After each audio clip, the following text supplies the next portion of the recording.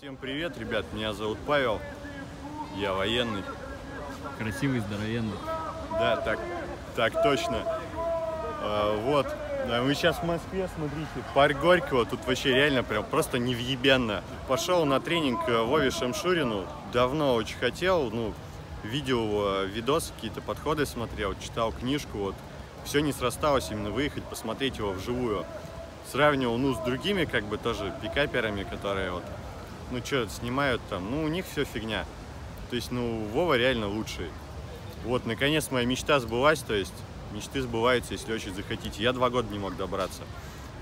Э, В отношении к женщине, ну, стал себя чувствовать более уверенно, то есть раньше даже не мог подойти на улицу, но мне стрёмно было. То есть сейчас, себя разогнав, я могу, ну, практически к любой девушке подойти, то есть как минимум пообщаться.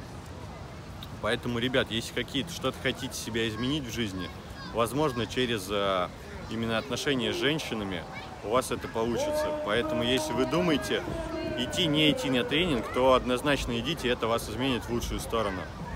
Ребят, всем спасибо, пока.